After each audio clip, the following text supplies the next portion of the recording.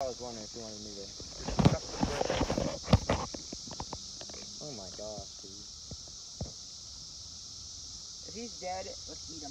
No chance. I'm not eating that blue. Yeah. He has to have lots of Oh, there he goes.